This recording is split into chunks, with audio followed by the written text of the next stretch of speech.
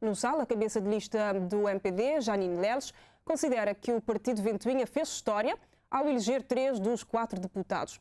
O PICV e o CID reconhecem a derrota, mas apontam diversas irregularidades no processo eleitoral. No Sal, assim que o MPD conseguiu eleger os três deputados, a festa não se fez esperar em frente à sede do partido, na cidade de Espargos. A cabeça de lista, Janine Lelis, mostrou-se radiante com a vitória, que considera histórica na ilha. Uma brilhante vitória, um sentimento de alegria, de profunda gratidão, de respeito pela família MPD, pela união do MPD. É uma vitória do MPD no Sal de todos aqueles que trabalharam, dos militantes, dos apoiantes, dos simpatizantes. Mas é uma vitória também dos salenses que acreditaram, acima de tudo, na nossa mensagem, que confiaram e que perspectivaram num governo do MPD e do Luís Correia Silva como aquele que está talhado para governar o país nos próximos cinco anos. Objetivo alcançado, satisfação plena. O PAICV, ao eleger um deputado no SAL, fica aquém da meta proposta, que era eleger o mínimo de dois dos quatro mandatos.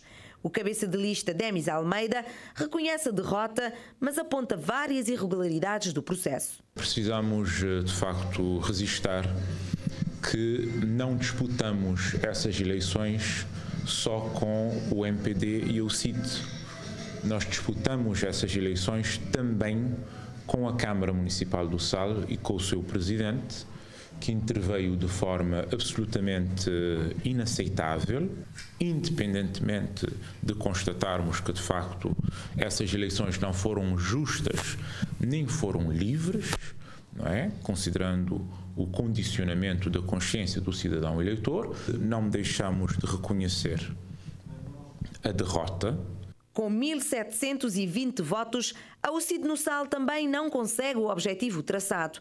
O cabeça de lista Aldirley Gomes diz-se tranquilo porque o partido fez o seu trabalho, mas acusa que estas eleições foram claramente compradas. A democracia cabo-verdiana está claramente moribunda. É, compra de consciência, compra de votos, distribuição de cestas básicas, dinheiro. Nós vimos um gastanço de dinheiro impressionante, dezenas, centenas de carros alugados a transportar pessoas. Isso não é de democracia. Portanto, por isso é que nós dizemos que as eleições foram claramente compradas. De acordo com os dados provisórios, dos 19.618 eleitores inscritos, 11.850 foram às urnas, situando-se a taxa de abstenção em 39,6%.